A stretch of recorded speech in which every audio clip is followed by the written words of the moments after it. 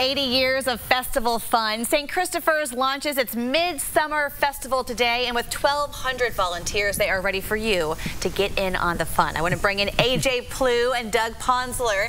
Hello to both of you. Hello there. Hello. It's a big weekend. Things get started tonight. So tell mm -hmm. me here, what can folks expect? Well, uh, the dining room's open today at uh, 4 o'clock. We have carry out in our main dining room, and then our outside locations will open around 5 o'clock, 5.30.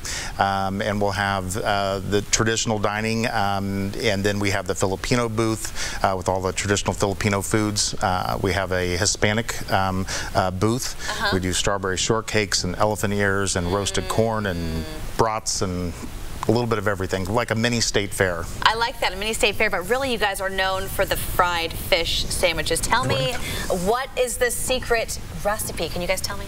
Or the secret oh. to your recipe?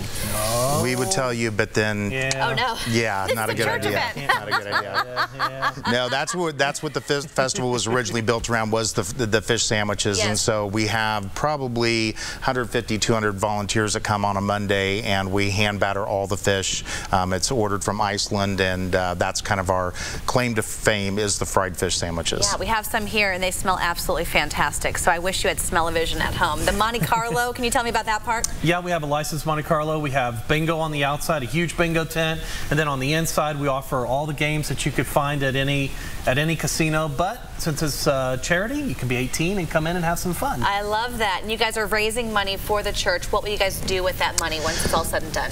Basically, the money raised from the festival over these 80 years has always been used to kind of help improve and maintain the property, um, the school building, and the and the church facility. All right, catch the Midsummer Festival this weekend, starting tonight, tomorrow, Saturday. Get in on all the fun activities for the kids, the family, the whole bit. So thank you, AJ and Doug, for uh -huh. coming out. This has been a lot of fun, and now I'm a little hungry. good, good. Thanks for having us. All right, back after you. this break.